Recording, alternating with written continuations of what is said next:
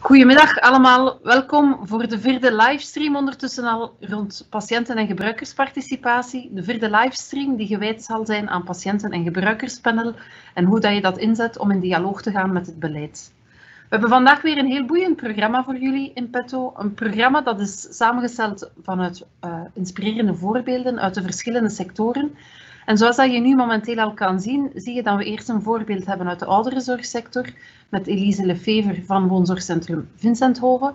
Dan gaan we naar AZ Rivierenland met Emilie Meersman en dan uiteindelijk komen we terecht in Covias bij Muriel en bij Bart. Je ziet dat er tussenin altijd wat blokjes voorzien zijn om wat vragen te stellen. Heb je een prangende vraag, zet ze meteen in de chat en dan kijken we of dat we ze meteen kunnen meenemen in de uitzending.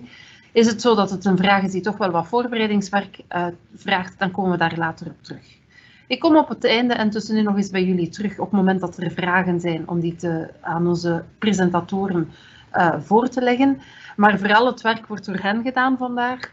Um, verder weten jullie zoals gewoonlijk dat we jullie nog een evaluatieformulier gaan nasturen en dat we eveneens ook de presentaties naar jullie gaan overmaken, zodanig dat jullie alles mooi netjes in jullie mailbox ontvangen. Als eerste kondig ik dan graag Elise aan. Elise van het Woonzorgcentrum Vincenthoven gaat met ons een mooie presentatie delen over inspraak van bewoners, familieleden en medewerkers in de ouderenzorg.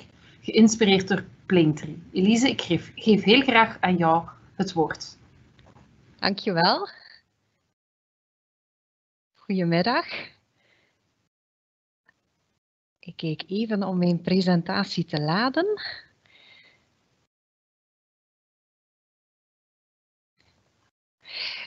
Wij zijn woonzorgnetwerk Vincenthoven, gelegen in het centrum van de stad Roeselare.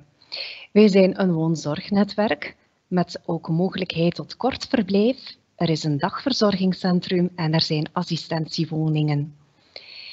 In Vincenthoven zijn heel wat enthousiaste medewerkers aan de slag, als ook vrijwilligers. En alle medewerkers samen zijn aan het werk gegaan met de visie van Plaintree. Vorig jaar behaalden we daar de gouden certificering voor mensgerichte zorg. Plaintree is een manier van denken en handelen om zo goed mogelijk warme, mensgerichte zorg te verlenen. Het gaat over de zorg zoals je die zou willen voor je eigen dierbaren. En dat is waar wij voor gaan. Wereldwijd werken mensen, werken organisaties met de Plaintree-visie al is deze in Vlaanderen nog minder gekend. Het Plaintree-model zet de mens voorop. Bij ons zijn dat de bewoners, hun familieleden en de medewerkers. Plaintree werkt met drie clusters. Betere zorg, een helende omgeving en een gezonde organisatie. De kerngedachte bij Plaintree is merkbaar mensgerichte zorg waar het partnerschap tussen de bewoner, zijn familie en medewerkers centraal staat. Voorheen dachten wij, hoe kunnen we zo goed mogelijk voor de mensen zorgen die ons zijn toevertrouwd? Plaintree bracht ons een andere denkwijze, waarbij we proberen om niet meer zelf in te vullen voor de bewoner. Wij trachten dit te verwezenlijken door de bewoner regie te geven op zoveel mogelijk vlakken. Via individuele bevraging willen we natuurlijk allereerst de persoonlijke wensen van een bewoner kennen, op vlak van wonen, maaltijden, zorg, dagbesteding. Maar we willen de bewoner ook inspraak geven in thema's die heel het huis aanbelangen. Voorbeelden van zulke thema's zijn, als het gaat over het pastorale, dan willen we natuurlijk weten welk aanbod er moet zijn. Hoeveel eucharistievieringen en wanneer. Uh, of onze kapel bijvoorbeeld voldoet. Als het gaat over livingwerking, willen we nagaan wat bewoners verwachten van livingwerking. Hoe die gemeenschappelijke living er dan moet uitzien. Moet er bijvoorbeeld in gekookt kunnen worden? Een van de manieren die we in Vincenthoven gebruiken om de mening van bewoners te kennen, is het bewonersparlement.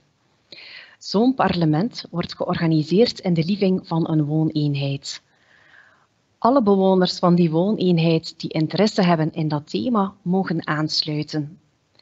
Een medewerker laten bewoners met elkaar in gesprek gaan over het vooraf bepaalde thema. Er worden ook gerichte vragen gesteld. Na het gemeenschappelijke bewonersparlement trachten wij ook altijd een aantal bewoners individueel te bevragen op kamer, bijvoorbeeld bedlegerige bewoners. Alles wordt samengevat in een verslag. Doordat er op elke wooneenheid en in het dagverzorgingscentrum zo'n bewonersparlement over dat thema wordt georganiseerd, krijgen we een beeld van de meningen over heel het huis. Die informatie wordt dan gebruikt bij het nemen van beslissingen en het verder uitwerken van thema's. Zo was er bij ons het bewonersparlement met als thema medewerkers. En daarin vroegen we aan bewoners over welke kwaliteiten een goede medewerker moet beschikken. En ook waar we moeten opletten tijdens het afnemen van sollicitatiegesprekken. Voor wie eventueel graag zelf aan de slag wil gaan met een bewonersparlement, geven we graag een paar concrete tips mee. De eerste tip is koffie, want koffie helpt altijd. Creëer een gemoedelijke sfeer. Vertel de bewoners dat je ze uitnodigt voor een kopje koffie met koekjes en een goed gesprek over dat thema in de living.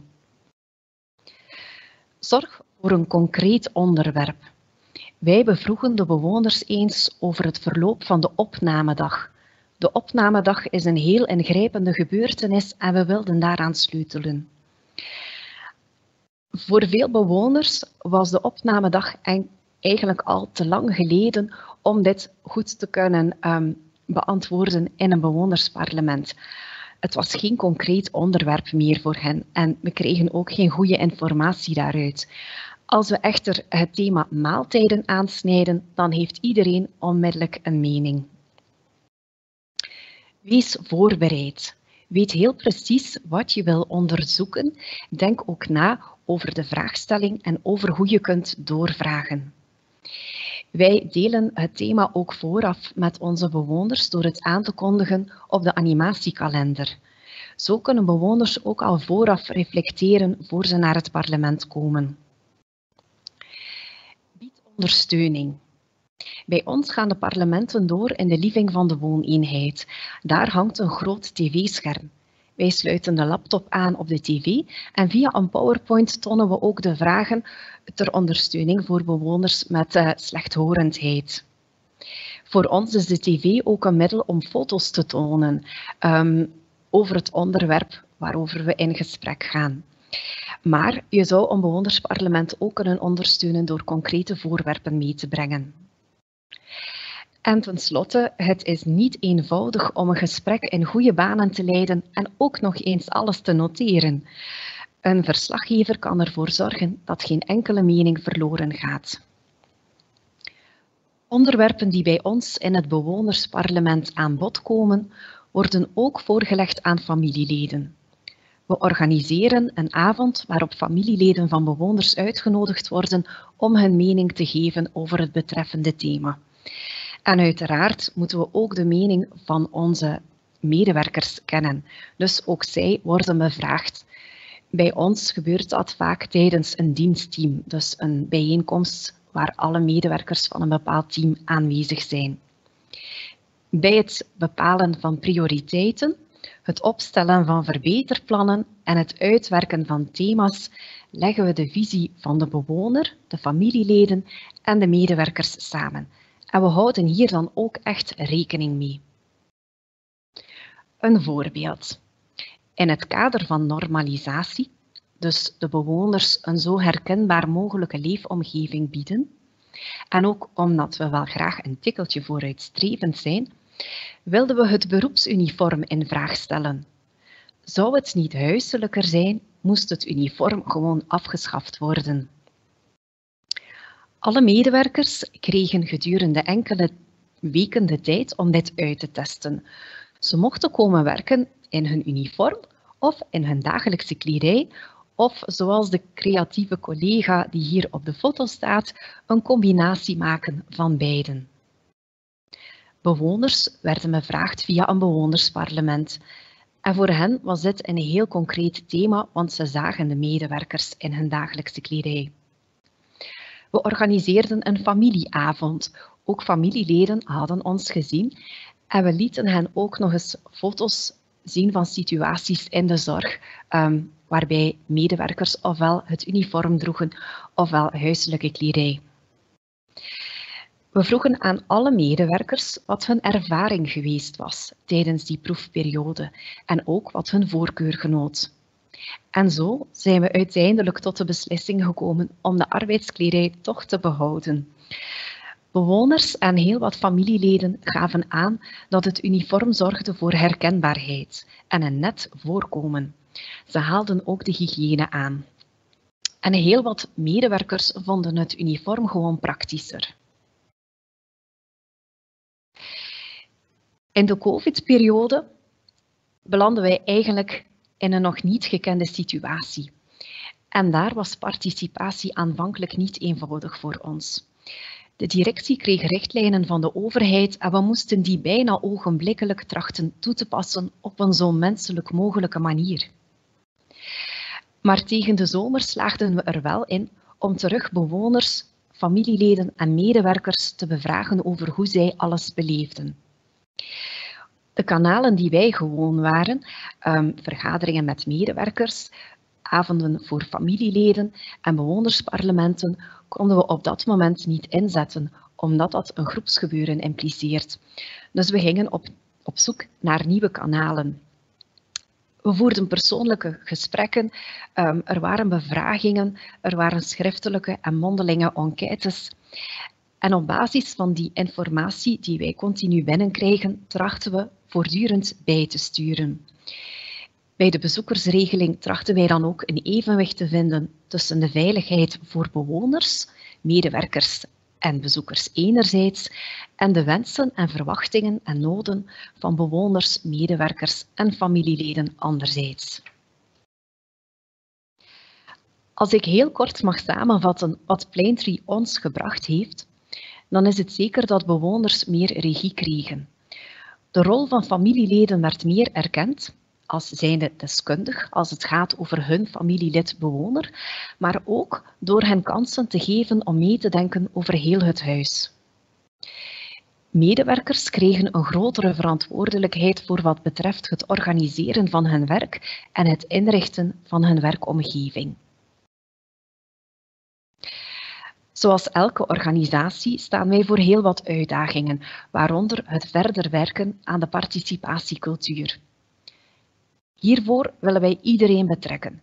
We merken dat het voor ons vaak wat moeilijker is om ook steeds bewoners met dementie te betrekken of bewoners die zich minder goed verbaal kunnen uitdrukken. Alle medewerkers moeten mee in het verhaal en in tijden van schaarste op de arbeidsmarkt willen we blijven medewerkers aantrekken met de juiste ingesteldheid. Ook communicatie blijft een uitdaging voor ons. Niet iedereen voelt zich aangesproken door een mail en niet iedereen leest een lange brief tot op het einde. Vandaar dat we nu ook experimenteren met videoboodschappen van de directie naar familieleden toe. En vaak moet de boodschap ook gewoon persoonlijk gebracht worden, bijvoorbeeld aan bewoners.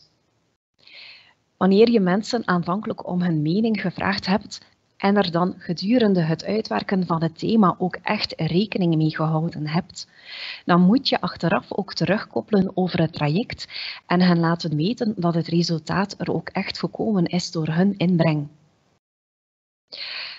Tot slot deel ik nog graag twee korte getuigenissen met u. Mevrouw Anna Verstraeten woont al enkele jaren bij ons en zij zegt Ik kan mij hier thuis voelen dankzij het respect voor wie ik ben als gelovige vrouw, mijn gezellige kamer met persoonlijke meubeltjes, maar vooral door het respect voor mijn vrijheid in denken en doen. En dit is onze collega Silvana. Zij zegt, wij nemen zelf verantwoordelijkheid over de invulling van de beschikbare tijd. Zo geeft het mij voldoening een bewoner rustig te laten genieten van een badmoment. Dank u wel. Fijn dat ik ons verhaal met u mocht delen. Dankjewel Elise om het ook op zo'n mooie, rustige manier te vertellen. Um, het, het, lijkt een sprookje en het is ook ontzettend mooi, dus het is een sprookje dat ook realiteit geworden is. Um, ik heb gezien, er is één vraagje binnengekomen en dat, dat ik vermoed dat iemand is uit een andere sector wellicht, dat vraagt van Plaintree, we hebben er al veel over gehoord en voor ouderenzorg wordt de link nogal gemakkelijk gelegd. Maar is dat ook iets waarmee dan wij als acuut ziekenhuis of als revalidatieziekenhuis, als instelling uh, geestelijke gezondheidszorg, waar, waar dan wij ook iets uit kunnen halen. Heb jij daar een idee van? Kan jij daar een inschatting van maken? Ja hoor. Um, de visie van Plaintree en ook het certificeringsprogramma zijn zo opgebouwd, zo ontwikkeld, dat het eigenlijk kan toegepast worden op alle vormen van zorgorganisaties. Dus zowel um, voorzieningen waar bewoners wonen of waar patiënten echt verblijven, als voorzieningen voor ambulante zorg. En heel concreet zijn in Nederland en België vooral ziekenhuizen en voorzieningen voor ouderenzorg aan de slag met Plaintree. Maar ook voorzieningen voor ehm, personen met een motorische beperking en de geestelijke gezondheidszorg ook. Okay. Ja? Ja, dat was voorlopig van vragen wat er is binnengekomen. We zien wel of er nog iets anders binnenloopt. En dan kom ik misschien op het einde nog eventjes bij jou terug. Maar dan stel ik voor dat we nu doorgaan naar het voorbeeld uit AZ Rivierenland. En daarvoor is Emilie Meersman bij ons um, in, in gesprek. En Emilie heeft als titel Patiëntenpanels in AZ Rivierenland samen sterk in zorg. Emilie, we zijn heel benieuwd naar jouw verhaal. Ja. Goedemiddag allemaal, mijn naam is Emily Meersmans. Ik werk in AZ Rivierland als stafmedewerker kwaliteit. Ook op mijn beurt welkom bij deze livestreams. Um, ehm, AZ Rivierland is een regionaal ziekenhuis met campussen in Bornem, Rumst en Willebroek. En ik neem jullie vandaag heel graag mee in een van de manieren waarop dat wij onze patiënten betrekken bij het beleid van het ziekenhuis, namelijk het organiseren van patiëntenpanels. En dan met name vooral de praktische, uh, het praktische verhaal van deze panelgesprekken. We zijn op 6 eh, juni 2017 gestart met de, met de organisatie van ons eerste panelgesprek. Dat was naar aanleiding van de Wat met de dag die dan voor de eerste keer in Vlaanderen werd georganiseerd. Um, en sinds dan organiseren we eigenlijk twee keer per jaar een uh, panelgesprek. Eén keer in juni uh, rond de Wat met de dag en één keer in november tijdens de Week van de Patiëntveiligheid. Um, het doel van zo'n gesprek is om um, bij de patiënt te, peilen naar uh, zijn mening rond een bepaald onderwerp en ook om de patiënt te betrekken bij het um, opstellen van verbeterprojecten en bij onze beleidsvoering. aan de hand van zo'n panelgesprek brengen we de mening van onze patiënten in kaart. ze wijzen ons op de sterke en de minder sterke uh, punten van de zorgverlening en zorgen er zo voor dat wij continu kunnen blijven verbeteren. Um, ons eerste panelgesprek hebben wij ziekenhuisbreed georganiseerd. Sindsdien organiseren we het rond een uh, specifiek um, thema of onderwerp. Um, aan zo'n panelgesprek nemen maximaal zeven patiënten deel. en directieleden, waaraan meestal onze afgevaardigde bestuurder, hoofdgeneesheer en verpleegkundig directeur zijn. En afhankelijk van het thema neemt er ook iemand van de dienst zelf deel. Um, hoe pakken wij nu de organisatie van zo'n panelgesprek aan? Um, allereerst is het natuurlijk de bedoeling dat je je thema bepaalt. Um, het thema dat kiezen wij aan de hand van bijvoorbeeld resultaten van interne audits, accrediteringsnormen of dingen die actueel uh, lopen. de datum, maar vooral het tijdstip, is afhankelijk van het thema.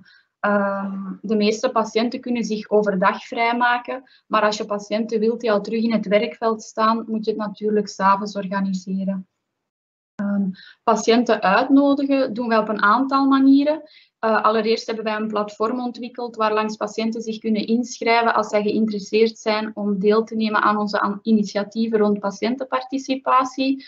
Um, die link krijgen zij bij een e-mail bij ontslag, maar ook in de onthaalbrochure wordt die met patiënten gedeeld. Uh, daarnaast uh, ronselen wij patiënten via onze sociale media. Um, en uh, brengt de ombudsdienst ook soms patiënten aan. maar wat dat ons eigenlijk het meeste patiënten oplevert, is um, dat de dienst zelf, dus de dienst waarover het panel zal gaan, zelf de patiënten aanspreekt en hen uitnodigt om deel te nemen aan het gesprek. Um, daarna worden de vragen opgesteld. Um, we werken met enkele vaste vragen. Um, en de andere vragen worden samen in samenspraak met de dienst opgesteld. Uh, hier zien jullie een overzicht van alle thema's die wij al aan bod hebben laten komen. Het eerste panelgesprek hebben we dus ziekenhuisbreed georganiseerd. dan hadden we patiënten vanuit verschillende verblijfsafdelingen, consultaties, spoed, en ging het vooral over thema's rond bereikbaarheid, communicatie, algemene tevredenheid en de missie en de visie. Nadien zijn we overgestapt op um, panelgesprekken specifiek rond één thema. Het volgende uh, panelgesprek had dan als thema onze spoeddienst. Het derde uh, panelgesprek was eigenlijk een expertenpanel uh, met huisartsen, ehm, thuisverpleegkundigen, apothekers, kinesisten uit de regio. En had als thema transmurale zorgverlening. Het vierde panelgesprek uh, ging over multiculturele zorgverlening. Uh, maar daar merkten we dat het heel moeilijk was om uh, bereidwillige patiënten te vinden. Um, dus hebben we besloten om die te organiseren met medewerkers uit onze eigen instelling, die zelf wel patiënt zijn geweest en die allemaal een verschillende geloofsovertuiging en culturele achtergrond hadden. Dan in juni 2019 hebben we eentje georganiseerd over ambulante zorg en um, hebben we patiënten van het labo medische beeldvorming en de consultaties ontvangen. Uh, in november hebben we dan uh, zowel de mama's als de kindjes ontvangen en ging ons um, panelgesprek over materniteit. In, op 14 januari hebben we een extra panelgesprek georganiseerd rond de strategische doelstellingen. Um, als nieuw fusieziekenhuis hebben wij in 2019 een nieuwe missie en visie geschreven en werden er eind 2019 strategische doelstellingen aangekoppeld, waarbij wij ook onze patiënten waren betrekken. Um, en daar zijn we bewust um, overgestapt naar een panelgesprek dat s'avonds doorging, omdat we echt een, een brede groep patiënten waren betrekken die ook al opnieuw in het werkveld stonden. Um, dan ja, ons panelgesprek in juni 2020 is helaas niet kunnen doorgaan door, um, door COVID. Um, COVID-19 zou ook het uh, thema zijn van ons gesprek in november. maar hierover uh, zelfs nog wat meer. De indeling, een panelgesprek duurt maximum twee uur, waarbij we eigenlijk steeds dezelfde indeling aanhouden. Um, het eigenlijke gesprek duurt een, een dik uur, um, waarbij we nadien nog voldoende tijd vrijhouden om af te ronden en samen met de patiënten slotconclusies te bepalen.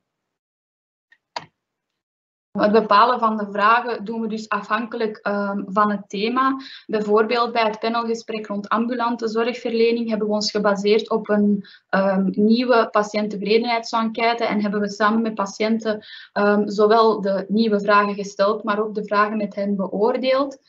bij het panelgesprek rond de strategische doelstellingen zijn we echt met de doelstellingen zelf aan de slag gegaan. Daarnaast hebben we ook nog een aantal vaste vragen. Die zijn bedoeld als, als ijsbrekers of um, om onderwerpen los te krijgen bij patiënten waar dat ze eigenlijk nog niet um, over hebben gesproken tijdens het uh, panelgesprek. En dan evalueren we ook altijd onze werking en de panelgesprekken zelf aan het einde van het, uh, van het gesprek. Enkele resultaten die wij bereikt hebben met onze panelgesprekken Um, zoals je ziet zijn dat vooral praktische zaken. Uh, zaken waar wij als ziekenhuis niet altijd superveel tijd aan hebben moeten besteden, maar die voor onze patiënten wel een hele verbetering hebben opgeleverd. Uh, zo werd de gevoeligheid van de zonnewering aangepast. Um, die ging nogal snel naar beneden, waardoor dat patiënten snel in het donker zaten overdag. Um, er werd een borstvoedingsruimte gecreëerd voor moeders die op consultatie komen, bijvoorbeeld op pediatrie. Het routesysteem en de bewegwijzering werd aangepast we hebben onze gebedsruimte neutraler ingericht. Um, er kwam een extra opleiding voor de medewerkers rond gebedsrituelen en uh, geloofsovertuigingen. Er werd een extra uitprint voorzien van de ontslagbrief medicatie voor bijvoorbeeld de thuisapotheek en de thuisverpleging. Het proces rond ontslagmedicatie werd geoptimaliseerd. Onze ziekenhuiswebsite werd aangepast en dan vooral de thema's bereikbaarheid en communicatie. Een parkingproblematiek aan onze spoeddienst werd aangepast en als laatste werd ook onze spoedbox zelf aangepast. Zo kwam er een klok, werd de temperatuur aangepast en werd die spoedbox kindvriendelijker ingericht. Daarover zie je hier een, een voorbeeldje van zo'n spoedbox. Dan heel actueel, uh, de invloed van COVID-19. Ehm, dat heeft natuurlijk ehm, de impact gehad op onze panelgesprekken. Zo werd ons panelgesprek in juni 2020 geannuleerd. Ehm, we plannen een nieuw panelgesprek in november, uh, wat we COVID-proof zouden organiseren. Wat betekent dat we geen lunch zouden aanbieden aan de patiënten en dat we meer fysieke afstand dienen te creëren tussen zowel patiënten als directieleden. En fysieke afstand is eigenlijk iets wat je net niet wilt tijdens zo'n zo'n panelgesprek. Um, het thema COVID, dat zou betekenen dat we zowel uh, patiënten van op verblijfsafdelingen al dan niet op de COVID-afdeling zouden uitnodigen, uh, maar ook bezoekers en begeleiders die tijdens het toepassen van die COVID-maatregelen in het ziekenhuis aanwezig waren. En ook bijvoorbeeld ambulante patiënten, patiënten die op consultatie kwamen. Maar helaas, door de huidige situatie zal ook dat gesprek uh, moeten uitgesteld worden. Ik sluit graag af met nog enkele praktische tips voor het organiseren van zo'n panelgesprek. Um, allereerst kies je best een heel duidelijk en afgeleid thema. Uh, wij zijn begonnen met een ziekenhuisbreed panelgesprek, maar dat, uh, dat, maakt dat je heel veel verschillende patiënten met heel veel verschillende ervaringen aanwezig hebt, waardoor dat je eigenlijk met die twee uur tijd um, niet genoeg zal hebben. Um, dan stem de datum en de tijdstip af op je doelgroep. creëer zo weinig mogelijk afstand Um, een voorbeeldje daarvan is als je verslag wil nemen tijdens zo'n panelgesprek, doe dat dan niet van achter je laptop, maar gebruik pen en papier en maak zo het verslag. Werk met naamkaartjes en bepaal vooraf de plaatsen, dus zorg ervoor dat patiënten en directieleden gemengd zitten. Um, duid vooraf een moderator aan. Die moderator die zorgt er dan voor dat alle patiënten aan het woord komen um, en dat patiënten ook de ruimte krijgen om af te wijken van, van het thema. Een andere tip is om niet in discussie te gaan met patiënten, maar echt actief te luisteren. Um, als zij vragen hebben, kan je natuurlijk wel uh, die vragen beantwoorden. Dat is ook de reden waarom dat wij um, de dienstverantwoordelijke vaak ook mee uitnodigen, omdat die beter op de vragen van patiënten kunnen antwoorden. En dat we toch gemerkt hebben dat patiënten niet enkel hun ervaringen willen delen, maar vaak ook um, ja, waarom vragen hebben, waarom dat iets op een bepaalde manier gebeurt. En dan is het fijn dat de dienstverantwoordelijke daar meteen op kan antwoorden.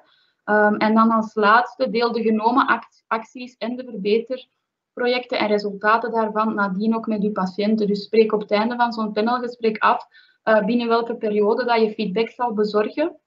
Um, en dan maakt dat patiënten toch ook echt het gevoel hebben dat er naar hun geluisterd is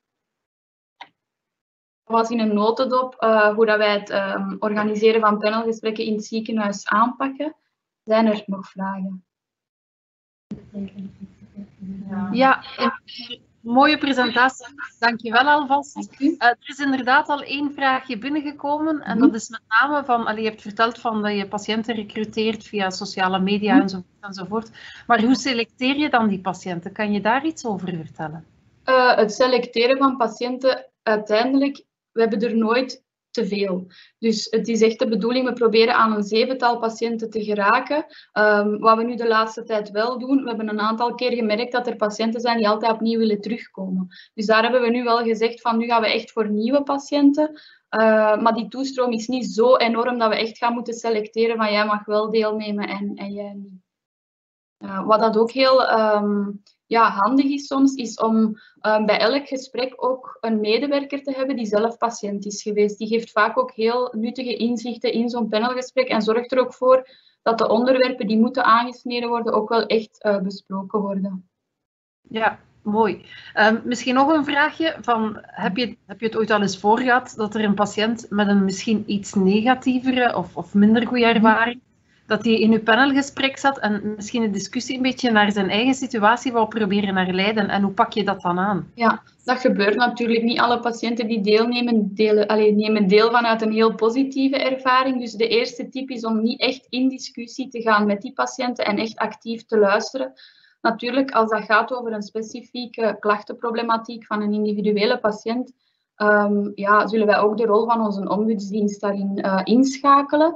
Uh, maar aan het begin van het gesprek proberen wij de patiënten ook altijd uit te leggen um, dat ja, een individuele klachtenproblematiek of echt individuele verhalen, dat ze die wel mogen delen, maar dat ze daar wel vrij in zijn. Dus dat ze, daar, ja, dat ze vrij zijn om vanuit hun eigen ervaring om, of echt vanuit een specifieke klacht te spreken.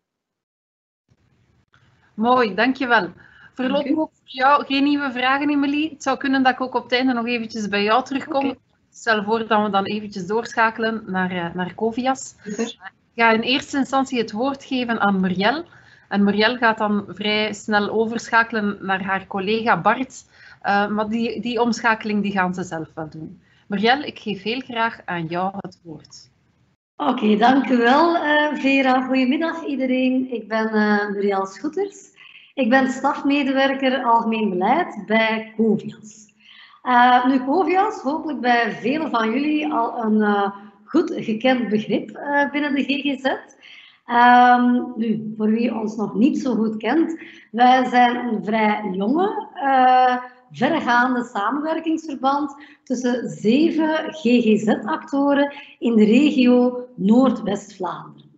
En op de slide die hier geprojecteerd wordt, kunnen jullie onze uitgestrekte regio zien. Hè. Uh, nu, Covias staat er ook, hè, uh, staat eigenlijk echt voor samen onderweg. En wij hopen van harte dat we met de projecten die we vandaag aan jullie gaan voorstellen en gaan toelichten, dat we deze naam echt alle eer gaan aandoen. Onze doelgroep dat zijn mensen met een ernstige psychiatrische aandoening en wij situeren ons binnen de langdurige zorg. Nu, in totaal behandelen, begeleiden en activeren wij 900 cliënten. Um, en dat doen we met um, uh, 130 enthousiaste uh, medewerkers. Hè. Um, wij begeleiden en behandelen op eigen adres, hè, maar wij begeleiden en behandelen ook uh, onder huizen onder GGZ-dak, wat vroeger gekende beschut wonen. ook, en dat kan je ook zien op het kaartje, hebben wij activiteitencentra en ontmoetingscentra verspreid over heel de regio en zetten wij ook in op zorg voor arbeid. Nu, vandaag zijn we hier uiteraard om onze participatieraden uh, voor te stellen en onze visie op uh, participatie. Um, je kan het hier goed zien. Wij hebben twee participatieraden. Hè. Participatieraad cliënten en één participatieraad naast betrokkenen. Nu, het zijn twee aparte uh, adviesorganen, hè, um, waarbij eigenlijk participatie binnen en met het beleid hè, van COVIAS centraal staat. Uh, de participatieraad cliënten is iets uh, langer al in leven dan die van de naast betrokkenen. Hè. Participatieraad cliënten viert eigenlijk in februari het tweejarig bestaan. Uh, terwijl dat de participatieraad van de naast betrokkenen op 1 januari hun kaarsje van eenjarig bestaan mag uitblazen. Beide raden die komen met een frequentie van een zestal keer per jaar uh, samen. Hè. En dan geef ik heel graag het woord nu aan mijn collega Bart. Hè. Uh, want zowel Bart als ik, hè, wij uh, faciliteren en ondersteunen die raden samen met trajectbegeleiders. Hè. Um, en Bart gaat jullie nu wat meer vertellen over de opzet hè, en onze visie en het idee over participatie. Dank u wel.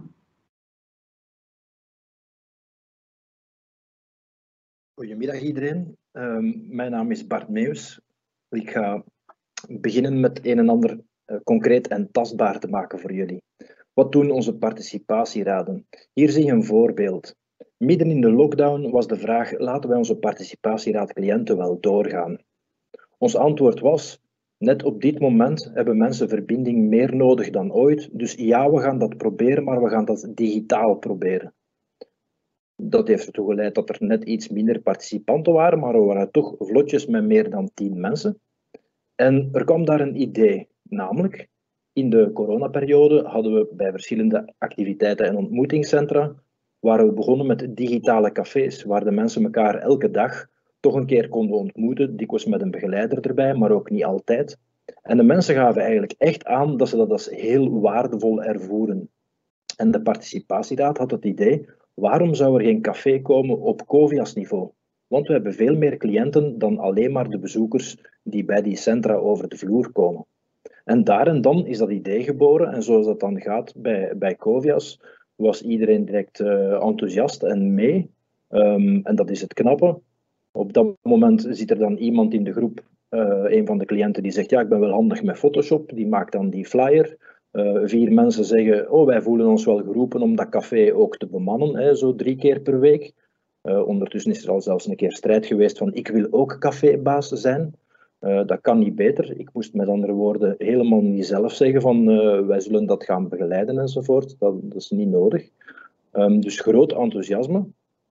Um, ik moet zeggen, over de vakantieperiode is dat qua aantal deelnemers wel wat teruggelopen, maar ik denk dat dat normaal is. Ehm, het is in elk geval een initiatief dat helemaal uit de participatieraad kwam en uh, waar ik toch wel eigenlijk trots op ben. Een tweede voorbeeldje dat ik wil aanhalen is, er staat daar een sigaret. Um, ik zal dat tonen, ik heb ook zo'n ding. Um, we hadden een discussie in de participatieraad over het al dan niet toelaten van roken in gemeenschapshuizen. Het was wel zo dat begeleiders soms in zo'n gemeenschapshuis binnenkwamen en daar door de rook konden snijden. Dat is niet direct een aangename manier van werken. Maar tegelijkertijd is dat bekend in de geestelijke gezondheidszorg. Roken is voor veel mensen een zeer belangrijk houvast. Het is een heel heikele en klassieke discussie.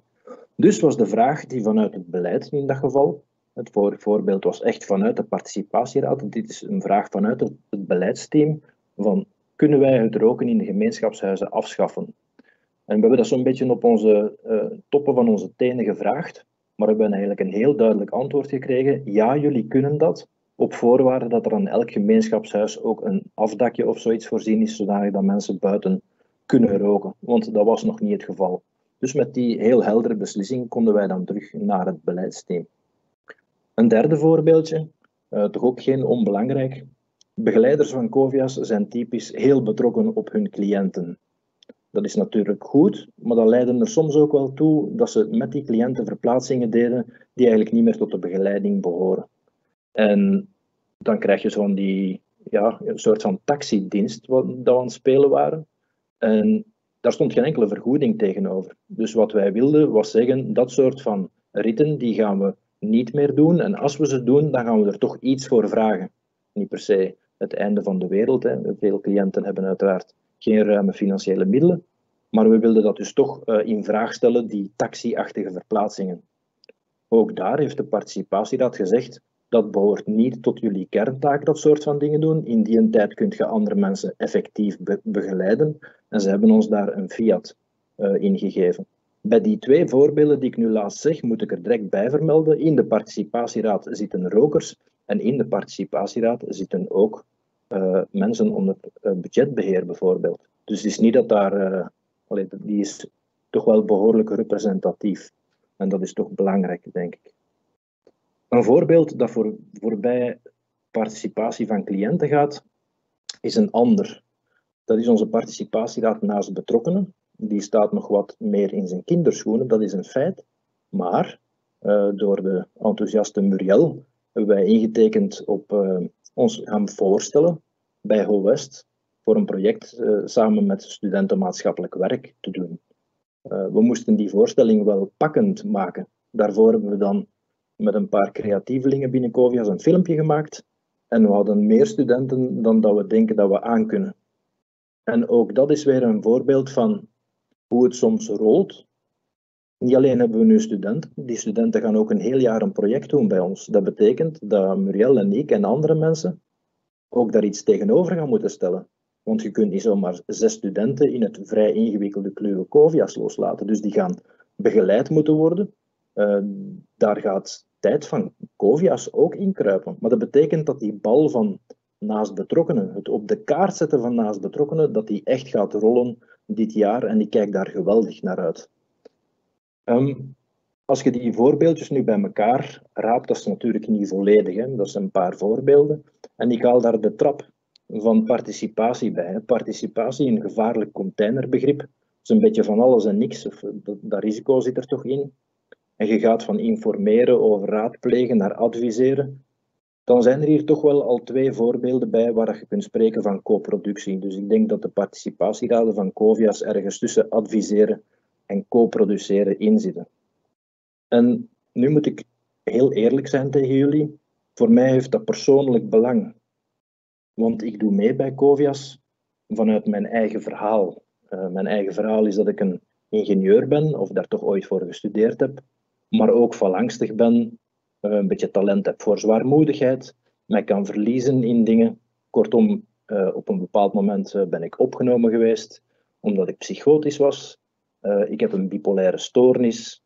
Um, en ik zit hier als ervaringsdeskundige. Dus dan merken dat Covias het meent met inspraak, dat is voor mij absoluut geen detail. Ik ben heel erg ongeschikt als versieringservaringsdeskundige en ik voel me ook geenszins zo. Ik kan al die voorbeelden dus herkaderen. Het sociaal contact van Café Covias, ik weet hoe het geweest is om tien jaar geen vrienden meer te hebben. Ik kan mijn vrienden op deze twee vingers tellen. Ik ben blij dat ik twee vingers heb, maar dat is ook de realiteit. Die sigaret zou vast, is voor mij ook een heel persoonlijk gegeven. Waren mijn ouders het niet geweest, dan zat ik in financiële problemen, zonder enige twijfel. Dus ook uh, het belang van, van geld is voor mij ook een heel persoonlijk belang. Um, en het belang van de naastbetrokkenen, ik herinner me nog levendig, tien jaar na de feiten was mijn opname nog altijd iets heel moeilijk om te bespreken met mijn vrouw. Maar ik ben in die opname omringd geweest door mensen die de gepaste zorg leverden, zoals de twee mensen voor ons uh, verduidelijkt hebben. Gelukkig bestaat dat, gelukkig zij, hebben al die mensen die zorg te bieden en dat grote hart. Maar mijn vrouw stond op de parking toen ze mij in de crisisopvang is gaan afzetten, om zo te zeggen. En zij was aan haar lot overgelaten. En dat is een insteek die we absoluut niet mogen vergeten. En voor mij is het dus ook weer een persoonlijke zaak. En dan ben ik eigenlijk heel trots om te zeggen dat Covias, ik hoop dat ze zich niet gaan beklagen, uh, mij als ervaringsdeskundige in het beleidsteam genomen hebben. Dus ik kan samen met Muriel al deze onderwerpen die aanhangig gemaakt worden, met echt alle passie die in mij zit, uh, en met overtuiging en met, achter, met ja, achterliggende ervaring, die kan ik in dat beleidsteam gaan brengen. Um, en daar ben ik, uh, ja, dat vind ik een fantastische kans. Um, ik denk dat dat een beetje de reden is waarom dat wij, want ja, een participatieraad, dat is nu allemaal zo vernieuwend niet. Maar ik denk dat we daarin toch wel vernieuwend zijn en ook wel een stukje in het uh, hoe ver dat we daarin durven gaan en hoe snel dat die dingen soms kunnen bewegen. Dat is het voordeel van een nieuwe speler te zijn. Ik moet daar iets heel belangrijk bij zeggen. Innoverend zijn is één ding, maar waar dat wij ook in geloven is dat het hebben van zo'n echte participatieraden, dat dat een heel belangrijke manier is om uw kwaliteit te bewaken en te verbeteren. En dat is waarom dat we daar nog veel meer op, uh, op gaan inzetten. Want dat is, daar wil ik graag mee afsluiten. Als je mensen echte inspraak geeft en je geeft ze de leun dan maar achteruit en wees verbaasd van het resultaat. Ik dank u voor uw aandacht en Marielle ook. En vragen, shoot. Wauw, Bart. Um, prachtig verhaal en ook dankjewel voor jouw openheid. Uh, ik denk dat heel veel mensen uh, nog net iets stiller geworden zijn, terwijl dat ze jouw uh, inspirerende toespraak aan het, aan het beluisteren waren. Dus echt heel mooi.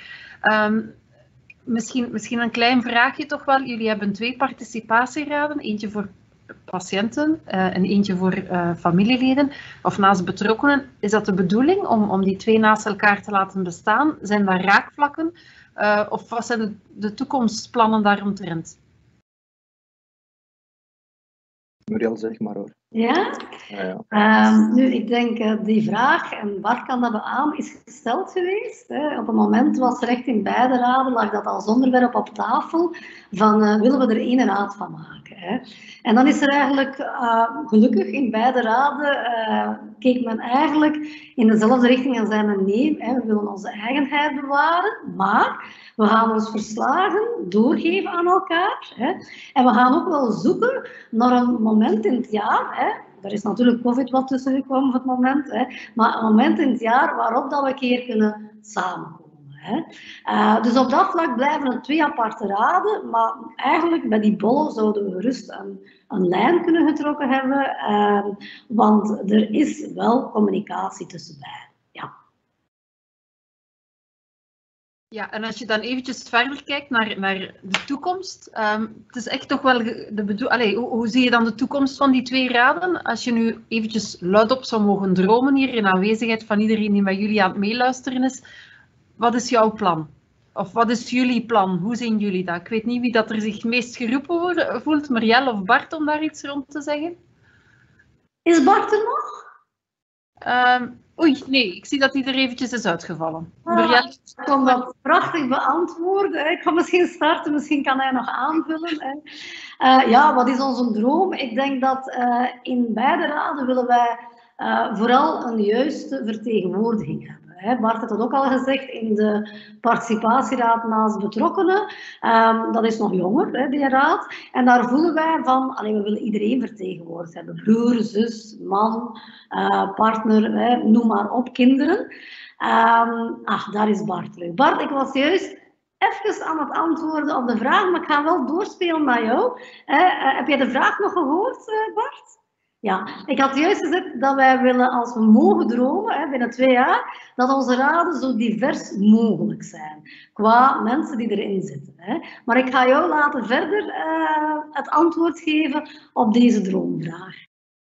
Ja, het is zo dat de participatieraden binnen Covias ook wel een stuk gegroeid zijn vanuit um, een van de samenstellende onderdelen van Covias. En dat is een groot samenstellend onderdeel en dat is dus ook uh, helemaal niet mis dat dat zo gegroeid is. Maar het is echt wel een uitdaging om in dat hele brede gebied van Covias uh, ver genoeg te geraken en dus elke uithoek te bereiken. Dus daar dromen we zeker over. Dat is, absoluut niet evident. Hoe gaat je cliënten van Veurne, want daar zitten wij ook echt ook, van Veurne naar Brugge krijgen, om zo maar eens een voorbeeld te geven. Maar als ik uh, nog verder mag dromen, dan vind ik ook het, um, op deze moment is het denk ik een hele goede werking binnen die participatieraden en ook de link naar het beleid. Die kunnen we met tweeën zeker uh, overtuigend genoeg leggen, Muriel. Maar waar ik niet van overtuigd ben op deze moment, is dat de hele organisatie al die raad actief bevraagt. En dat zou toch kunnen. Als uh, begeleiders, en ik heb dat al wel gezien in teambesprekingen met moeilijke issues zitten, dan zouden ze zo'n dingen toch ook kunnen komen bevragen bij ons. Dus ik heb het gevoel dat we nog kunnen groeien in welke mate dat, uh, dat die raden bekend zijn. En niet alleen bekend, maar dat die zo actief bevraagd worden door andere uh, mensen in de organisatie. Specifiek door de trajectbegeleiders. Want laat ons wel wezen, Muriel en ik, wij zijn zo'n soort van ehm, ja, hoe moet ik dat zeggen, wij doen niet het dagdagelijkse werk. Het zijn de trajectbegeleiders die de pluimen verdienen bij ons. Het zijn ook de trajectbegeleiders waarvan ik zou hopen dat ze soms de weg naar ons weten. Als ze met uh, issues rondlopen die aandacht verdienen. En ik denk dat dat nu nog een soort van... Dat is zoiets dat bestaat en men weet dat dat bestaat, maar dat, oh ja, dat is zo'n apart gegeven. Zo. Ik zou liever dat zien dat dat geïntegreerd was in heel ons uh, denken en handelen. Maar ik wil een bruggetje maken met wat uh, Emilie en Elise alle twee gebracht hebben. Ik vind dat hier een lijn zit in een hele dag, namelijk de lijn van burgerschap. je gaat mensen echt die regie geven, dat, dat heb ik gehoord, um, en echt in hun waarde laten en er actief naar luisteren. En, en, dan uh, samen vooruit geraken. Ik vind dat zo, allee, dat is tegelijkertijd simpel, maar ook ontzettend krachtig. En het is een beweging die je in heel de maatschappij ziet. Hè. Je ziet mondige burgers, um, en dat kan dan leiden tot protest, maar je kunt evengoed uh, mondige cliënten, mondige patiënten hebben, met wiens input dat je als organisatie geweldig veel vooruit kunt geraken. Dus ja, ik hoop dat we in die richting kunnen, kunnen verder gaan, ook bij COVIAS. Mooi. Dus misschien nog één vraagje dat ook is binnengekomen van hoe krijgen jullie mensen zover om, om, om bij te dragen voor, voor die raden? Um, kan je daar iets op rond vertellen? Of, of is dat gewoon een spontaniteit die dat er is? En, uh... oh, ik denk dat dat wel ook de verdienste is van uh, trajectbegeleiders, van medewerkers van COVIAS. Die, allee, wij werken vaak in werkgroepen, themagroepen rond bepaalde onderwerpen. Um, en zowel de participatieraad cliënten als die van de naast betrokkenen, daar is daar een uh, groep rond geweest van medewerkers die daar een schouder onder gezet heeft. Hè. En dan is er zo eigenlijk een, een, een wat een machine op gang gekomen van hè, waar gaan we ons cliënten hè, uh, halen. Hè. Wij weten wel ons cliënten, maar het zijn er wel veel. Um, Oké, we maken een flyer, we doen het via uh, de trajectbegeleiders, dat houdt ook in dat je dat moet gaan warm maken in de teams, dat je collega's moet meegaan uh, betrekken. En op die manier zijn we eigenlijk zowel uh, cliënten verkregen door onze participatieraad, um, als eigenlijk naast betrokkenen. Dus dat is op dezelfde manier gebeurd. Um, en dat zouden we niet kunnen hebben, moest er in de organisatie ook geen ja, moest de organisatie dit niet ondersteunen. Hè? Want uh, inderdaad, we hebben echt een lange weg af te leggen, dat iedereen ook dat nu als orgaan begint te gebruiken. Hè? Maar mensen hebben daar wel echt hun schouder onder gezet om die te bemannen. En nog altijd zijn we dan zoekende met die werkgroepen van hoe krijgen we hè, nog meer. En dan verwijzen naar wat Bart heeft verteld van de studenten. Hè? Wij hopen echt dat zij ook met ideeën gaan komen om nog meer ons naast betrokkenen uh, ja, te kunnen bereiken en ook te kunnen betrekken. En wat Elise daar straks zei, uh, dat, dat, telt bij ons ook. Hè. Uh, je hebt dat heel goed samengevat in uw tip zo met die post-its um, koffie. Bij ons is er ook altijd appelcake in de pauze. Um, dus ja, de, de hele context. Ik kan niet, dat klinkt een beetje simplistisch, maar dat is het niet. Um, dat is een gelegenheid waar mensen ook echt bij elkaar zijn. Daarom is het een enorme uitdaging van te proberen van dat digitaal te doen, uiteraard. Dat is nu ook niet hetzelfde als dat we bij elkaar zouden zijn. Maar um, ja, die, die sfeer die je er rond creëert, maakt toch ook veel. Natuurlijk gaat je daarmee niet per se mensen werven, maar het geeft wel de mensen die daar komen een bepaald gevoel van, van ik hoor er hierbij. Dat is toch ook geen detail. Daar wordt toch ook op ingezet, Muriel? Uh, onder andere door de trajectbegeleiders. Absoluut. En wat ik altijd leuk vind aan uh, heel dit gebeuren, is het gevoel dat je krijgt van de mensen die er zitten. Hè? Uh, het is niet meer over hun, hè, maar het is echt met hun. En ze hebben een stem en dan wordt ook teruggekoppeld. Wat gebeurt er met hun? Hè? Dus ja. Eén zin nog daarop. Um, de mensen die zo enthousiast werden over dat café Covias, die zijn op dat moment vrijwilligerswerk aan het doen. En voor mij, ik weet hoe belangrijk dat vrijwilligerswerk kan zijn in een herstelproces. Dus die, die participatieraad geeft mensen gewoonweg een zinvolle bezigheid. En dat is zo belangrijk. Dat kun je je niet voorstellen als je in mijn geval als ingenieur je werk kwijtspeelt, die zingeving is weg. Dat is het grootste drama. Dat bipolaire enzovoort en die toestanden, het is die zingeving. Dat, dat mankeert je zo hard. En zo'n participatieraad is zingeving. Mensen ontlenen daar identiteit aan. Dat is verrassend om te zien. Allee, eigenlijk niet. Voor mij dus niet. Dankjewel. Ik, uh, ik ga eventjes nog overschakelen naar Emilie, want Emilie, voor jou is er ook nog een vraag binnengekomen. En dat is eigenlijk van hoe snel heb je artsen en medewerkers meegekregen om, om mee in dat traject te stappen en met die panels te gaan werken? Was dat makkelijk of, of heb je daar toch wel uh, een beetje moeite voor gehad? We hebben daar eigenlijk geen moeite mee gehad en ook echt geen um, tegenstanders van gehad of zo. Dus iedereen in huis was daar redelijk um, snel in mee en heeft redelijk snel ook beseft hoe belangrijk dat, dat is om patiënten daarbij te betrekken. Um, ik kan niet zeggen dat we daar echt tegenwind of tegenstanders ervaren hebben. Oké, dankjewel. En dan misschien nog een algemene vraag. Ik denk dat iedereen van jullie daar wel iets kan op zeggen. Van, we hebben toch bij sommigen gehoord dat in die groepen dat daar soms directieleden of, of, of ja, uh, ja, diensthoofden of zo bij betrokken zijn. Heeft dat een remming op het gesprek dat die mensen daarbij aanwezig zijn of hebben jullie niet die ervaring? Um, tijdens onze panelgesprekken um, hebben wij er vooral um, ook voor gehad dat onze directieleden echt een open houding aannamen. Um, en dat zij niet in discussie gingen met de ervaringen van patiënten. Um, daar heeft ook wel geholpen dat we patiënten en directieleden gemengd hebben, dus dat die een beetje door elkaar zaten. Maar ik denk dat van zodra dat je begint met, met zo'n initiatief uh, in je instelling te organiseren, dat het heel belangrijk is dat je directieleden daarin mee willen. En dat zij daar ook echt een volle achter staan. En dat was bij ons wel uh, het geval, waardoor dat, dat bij de patiënten echt geen grens heeft, uh, heeft opgebracht. Andere ervaringen? Elise? Bij onze bewonersparlementen zijn doorgaans geen directieleden aanwezig.